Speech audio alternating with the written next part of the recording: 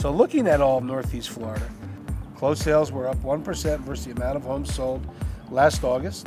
New listings on the market were 3,400, down 4% from last year. Average days on the market were the exact same, 62 versus 2019.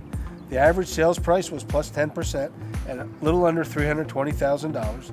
Listed sales price, 97% an increase over 2019. And the inventory of homes for sale, here's the real shocker, minus 38%, which is 3,500 fewer homes than last August. This is the largest percentage decrease in years. The month's supply of homes on the market is 2.3 months versus 3.7 months a year ago.